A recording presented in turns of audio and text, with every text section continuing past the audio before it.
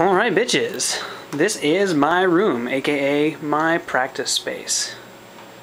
Very groovy. Let's take a look at some of the fun things we got in here. This bad boy is my lovely Ibanez AS100 from 1981, eight years before I was born. I call it Claire sometimes when I'm feeling saucy. It's my main guitar. Sometimes we use this, which is my brother's Godin guitar. I uh, mainly use it if I want to experiment with the whammy bar. The Ibanez doesn't have the capabilities of the whammy bar. So gotta switch over whenever I want to fool around with that. And in the corner here, I don't know if you can see that, but we got a uh, classic nylon string guitar.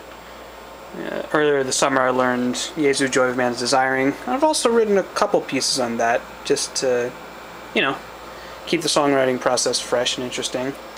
This case back here is my dad's Fender Stratocaster, which I haven't played in a long time. And as you see, we got two amps. Bottom one, I use most of the time. It's got a nice warm sound to it. And then the top one has a uh, phone jack that actually works, so I use that whenever I need to use headphones. I think if my mom is watching a movie. And uh, this one's also good for practicing stuff with a lot of distortion because it's got two easy switches to crank up the overdrive. This little doohickey is a uh, clip-on tuner. You can just clip it to the end of a guitar and then uh, use it to tune, which is nice because you don't have to unplug guitar from the amp in order to tune. It's pretty cool. It's called a Snark. I really like that name. And over here, I have my iPad which I use to keep track of my practice hours. And also, this device doubles as a metronome. Picked up this bad boy. Uh, if you've never used Subdivide, you should definitely check it out because there's a lot you can do with it.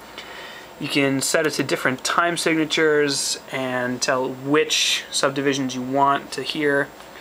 Uh, so we got 3-2, and let's say we also want to hear triplets. Very saucy. Can't actually play that fast, but it's nice to have that capability. And yeah, sometimes I sit on that chair, sometimes I sit in this bed, sometimes I stand right there. Occasionally, I'll actually look in the mirror as I play to uh, see what my hands look like from the audience's perspective. It's a little trick that I picked up from Steve Vai in his interviews. And yeah, that's just about everything. Groovy.